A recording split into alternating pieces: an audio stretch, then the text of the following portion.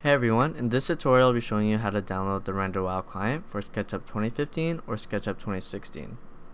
So if you follow the link in the description below, it should bring you to this page here. And once you're here, you're going to want to sign up first because once you're done downloading the installer, you're going to need to sign in to further install the plugin. So once you're done signing up, you're going to want to click the free public beta test and RenderWow software download. So once you're done clicking this, it's going to install the installer and you're going to want to run it and click OK. I agree and install. So it should only take you a few seconds to download and once it's done it's going to show up on your desktop. And once that's done you're going to want to close it, minimize, minimize, and you're going to want to run the client. So sign in. And this is the RenderWow rendering cloud where you're able to send your renderings and your your scenes to. And before anything else please click this icon and choose whatever version of SketchUp you have. So I have SketchUp 2016 so I'm going to be installing that one. So once you're done installing it it's gonna show this tutorial guide on how to send your renderings to the render cloud but I'll be posting a, a, tutorial on how to send your renders to the render cloud more in depth and what else you can do with RenderWow that could help you with your projects as well. So once that's done, close it and run your SketchUp. So I actually have a few plugins already installed, so my SketchUp's already is going to take a few seconds to load. So once that's done loading,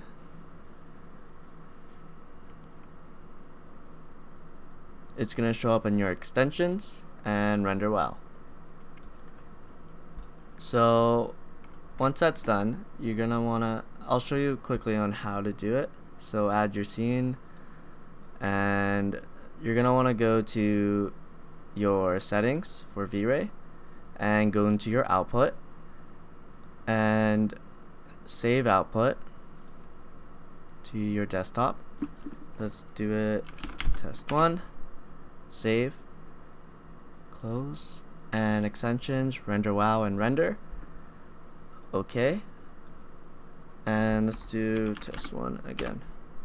Now you're gonna always want to save it to your desktop, otherwise it's not going to work.